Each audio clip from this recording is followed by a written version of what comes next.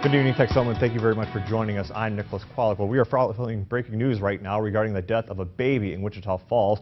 Landon McBride was at the scene today. And Landon, uh, what do we know right now?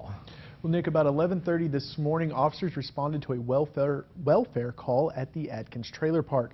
Four police units responded to the scene, and before we arrived, we received a call at the station from a park resident stating ambulances as well as the coroner were also at the scene. And upon arrival, we confirmed with Wichita Falls Police that, in fact, a five-month-old did die. Police asked us to leave soon after so they could continue their investigation and not upset the family. And that is all we know at this time as the investigation is still underway. We'll keep you updated with more information when it becomes available. All right, Lana, thank you very much for that report.